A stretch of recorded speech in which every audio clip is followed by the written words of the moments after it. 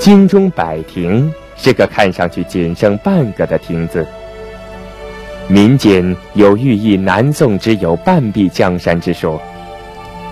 亭内陈列八段柏树的化石，据传是生长在风波亭畔的一棵大柏树。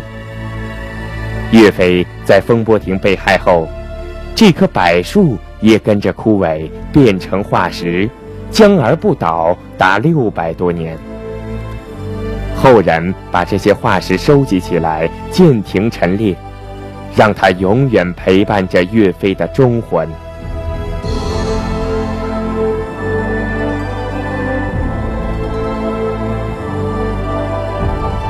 柏树化石都没有树皮，显得十分光滑。这还有一段传说呢。当年，太平天国反抗腐败的清朝政府攻入杭州后，不少士兵突然生起病来。由于请医无效，很快传染到全军。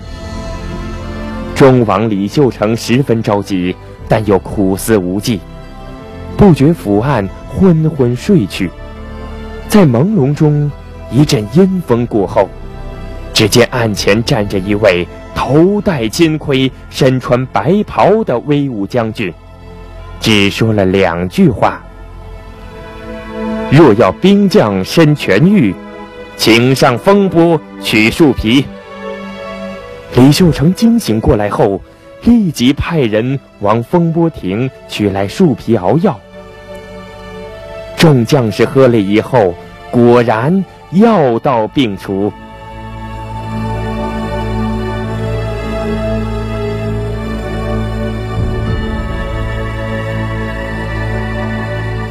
不久，清军也得了同样的病，争先恐后的取来树皮熬药，结果当然是越喝病越重了。所以老百姓高兴地说：“是岳老爷又显灵了。”这些都反映了人们对岳飞的仰慕之心和怀念之情。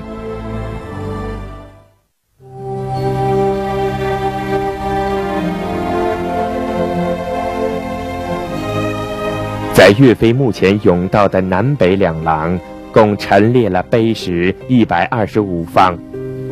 北廊是岳飞手写的墨迹刻石、秦折、表彰等，最为著名的是《满江红》词和岳飞录写的前后出师表等。南廊为历代名人凭吊岳飞诗词和岳庙历次重修的历史文献，其中。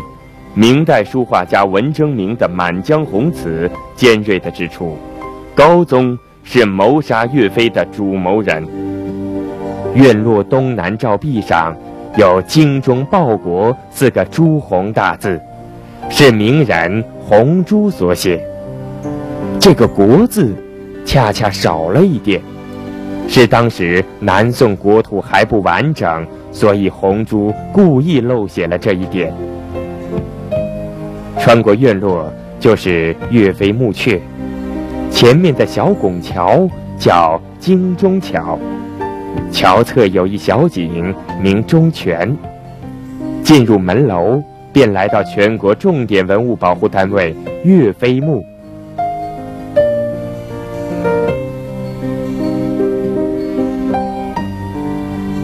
岳飞被害后，大理寺有个名叫奎顺的狱卒。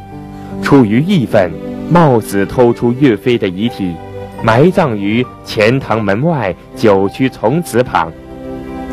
又用玉环为培训，墓前种了两株枯树，立一块假一人墓碑，既作为标志，又可以遮人耳目。后来，宋孝宗下诏恢复岳飞官职，并以礼改葬岳飞遗骸于县址。这时，离岳飞被害之日已经有二十一年了。那时，奎顺已不在人世，但他临死前把营葬岳飞经过和葬地详细的告诉了儿子，因此人们才得以准确无误地找到这位含冤屈死的英雄的遗骸。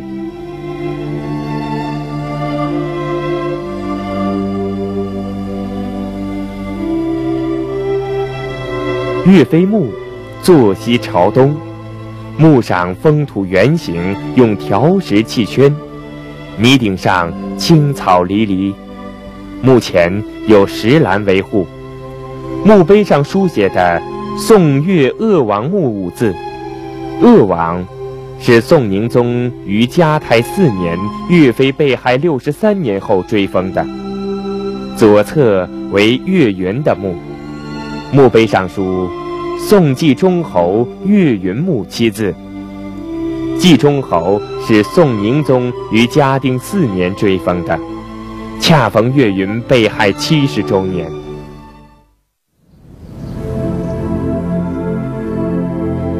墓道两旁陈列着三对明代石刻翁仲和两组牺牲。现在的石望柱是最近重修的。上面刻有古人的名联：“正邪自古同冰炭，毁誉于今盼为真。”由著名书法家沙孟海先生重书。整个墓园古柏森森，气象肃穆，令人肃然起敬。